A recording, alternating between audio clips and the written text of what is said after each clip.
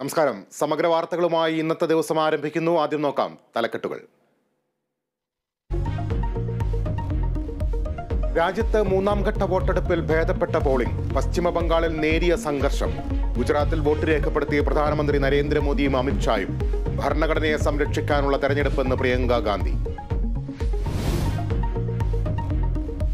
മുഖ്യമന്ത്രിയുടെ വിദേശ സന്ദർശനത്തിൽ വിവാദം പുകയുന്നു.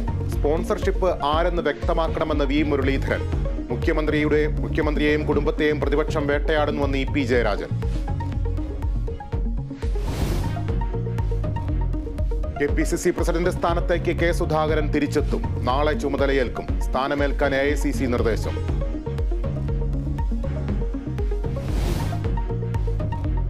സംസ്ഥാനത്ത് കനത്ത ചൂട് തുടരും. ആലപ്പുഴ ജില്ലയിൽ ഉഷ്ണതരംഗ മുന്നറിയിപ്പ്. നാല് ജില്ലകളിൽ നാളെ മുതൽ വേനൽ മഴ ശക്തമാകുമെന്ന് കാലാവസ്ഥാ വകുപ്പ്.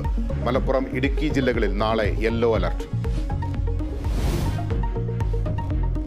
Kozhikode I C U പീഡന കേസിൽ പുനരന്വേഷണം. ഡോക്ടർ കെ വി പ്രീതിക്കെതിരെ അന്വേഷണത്തിന് ഉത്തരവിട്ട് ഉത്തരമേഖല I G. A C P T P ജേക്കബിന് അന്വേഷണ ചുമതല. ഒരാഴ്ചയ്ക്കകം റിപ്പോർട്ട് സമർപ്പിക്കാനും നിർദ്ദേശം. തിരുവല്ല നഗരത്തിൽ യുവതിക്ക് നേരെ മദ്യപന്റെ ആക്രമണം. യുവതിയെ സ്കൂട്ടറിൽ നിന്ന് വലിച്ചു താഴെയിട്ടു. തിരുവല്ല സ്വദേശി ജോജോ കസ്റ്റഡിയിൽ. യുവതിയുടെ കൈക്കും കാലിനും പരിക്ക്.